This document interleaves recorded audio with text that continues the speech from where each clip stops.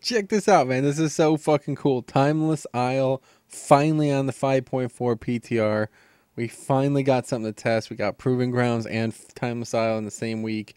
And I'm ready to fucking do something, man. This is cool. This isle, is, it's like playing fucking Skyrim. If you ever played Skyrim, there's just shit everywhere. And you gotta really pay attention if you want to find some of it.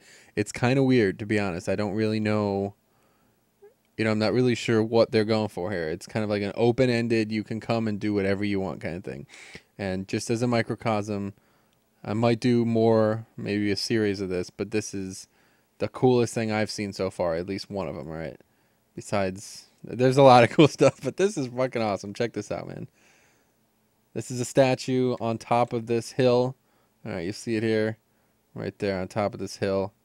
And before I dive from this fucking rare that's over there, touch the statue, Super Mario status. It's like fucking Super Mario 64. You now fly and you have this buff. All right, and you can land on these platforms, but you're kind of like falling with slow fall. You see what I mean? So you have to position yourself, right? So you gotta have to kind of like spin, and you have a minute, and you can pick up as many treasure chests as you want, I guess. But it's not. It's definitely not easy to do. There you go, going down, great achievement there. So you get a bunch of these coins. I don't actually know what's in here.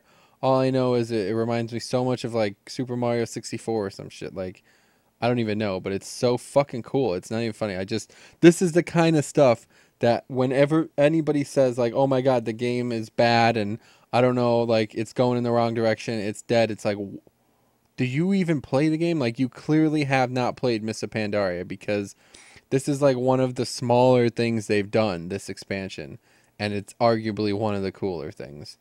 And this is the last. This is like a one day thing, uh, and I just been DC. So there you go. On that note, enjoy it. Five point four PTR. Check it out. Go go go. Check it out. That's my finger right there. You see that?